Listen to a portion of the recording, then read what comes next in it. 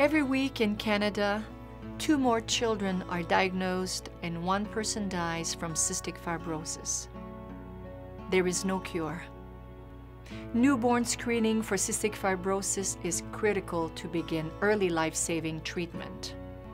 Without it, the damage can be irreversible. Raise your voice with mine. Join us at cysticfibrosis.ca.